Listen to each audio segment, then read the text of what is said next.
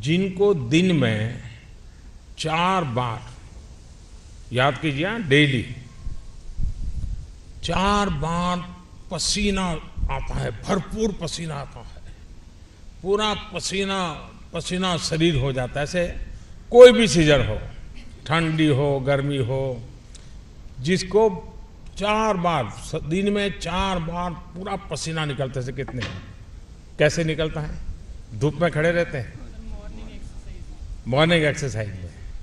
और कोई?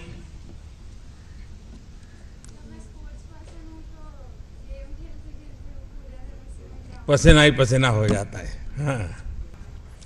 देखिए, एक भी बालक ऐसा नहीं होना चाहिए। अपने दोस्तों को भी बताइए कि जिसको दिन में चार बार पसीना नहीं आए, ऐसा एक भी बालक नहीं होना चाहिए। मुझे एक बार किसी ने बहुत साल पहले पूछा था कि आपके चेहरे पर इतना तेज क्यों है? तो मैंने बड़ा आसान जवाब दिया था। मैंने कहा, मेरे शरीर में इतना पसीना निकलता है, मेहनत करता हूँ और मैं उसी पसीने से मालिश करता हूँ, इसलिए चमक जाता है।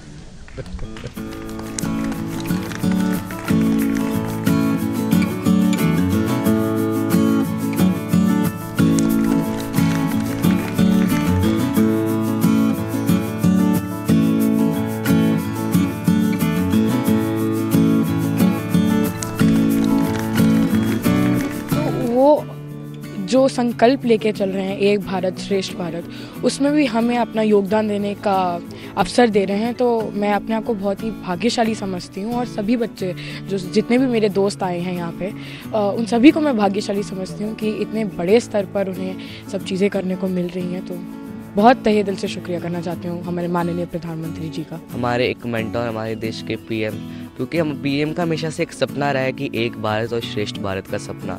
जैसे अभी कुछ दिनों पहले परीक्षा पे चर्चा हुआ था तो उसमें भी उन्होंने बच्चों से काफ़ी इंटरेक्ट किया था। सो वो जैसे बच्चों को प्रमोट कर रहे हैं बिकॉज़ जो बच्चे होते हैं, वो फ्यूचर हैं कंट्री के तो वो हमारे फ्यूचर को सिक्योर कर रहे हैं। और जिनका एक भारत श्रेष्ठ भारत का सपना है, वो पूरा हो रहा है। आई have learned one thing from Honorable and ultra respected Prime Minister Narendra Modi, sir.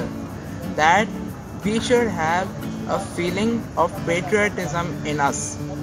And I have learned that thing from him. मुझे उनकी बातें बहुत अच्छी लगी और प्रेरणादायक लगी कि हमें ये कोई भी अवार्ड मिले हमें बड़ा नहीं समझना चाहिए हमें हमेशा मेहनत करना चाहिए और आगे बढ़ना चाहिए। चाहे हमें कितना भी बड़ा अवार्ड मिल जाए हमें आगे बढ़ना चाहिए और पूरी लगन के साथ मेहनत करनी चाहिए। सर से बहुत इंस्पिरेशन भी मिलती है जिस पोस्ट पे वो हैं उस तरीके से वो इंडिया में इतने पूरे ओवरऑल वर्ल्ड ट्रैवल करते हैं, वो इतनी बड़ी पोजीशन होल्ड करते हैं और जिस तरीके से वो ग्राउंडेड हैं और इतने अटैच्ड हैं तो उनको देख के इंस्पिरेशन बहुत मिलती है और उनकी ये बात बहुत इंस्पायर करती है कि आप कहीं भी पहुँच जाएँ लेकिन अपनी रूट्स कभी नहीं भूलना चाहिए। You should never forget where you came from उन्होंने बोला कि हमें आ, हमारे जैसे रहना चाहिए किसी पे लाइक ग्रीडीनेस नहीं होना चाहिए। अगर आप कुछ बड़ा अवार्ड कुछ रह आ, कुछ जीतते हो तो उतना ग्रीडीनेस नहीं होना चाहिए और बहुत ही लाइक अभी तुम बहुत ही लाइक स्ट्रांग हो बहुत पावरफुल हो तो वैसे हमें बिल्कुल आ, मतलब कहना नहीं चाहिए और हमारे